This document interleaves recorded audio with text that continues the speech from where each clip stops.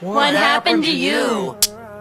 I lost my best friend. I'm sorry, don't leave me. I want you here with me. I know that. Best friends?